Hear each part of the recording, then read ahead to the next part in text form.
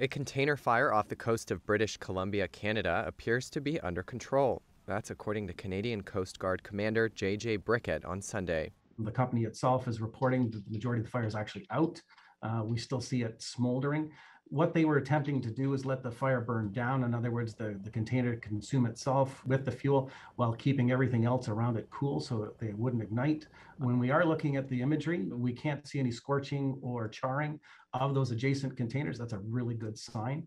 In a statement earlier on Sunday, the company that manages the container ship, Danaos Shipping, said no injuries had been reported.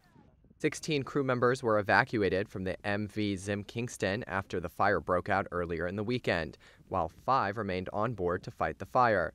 Tugboats were seen spraying water around the fire to contain it. The ship is anchored several miles off the southern coast of Vancouver Island. Officials have ensured that residents are safe and commercial ports are still in operation. Canada's Coast Guard said it's been working with its U.S. counterpart to track 40 containers that had fallen overboard after bad weather on Friday, more of which is expected to hit the region Sunday. Mariners are advised to stay clear of the area.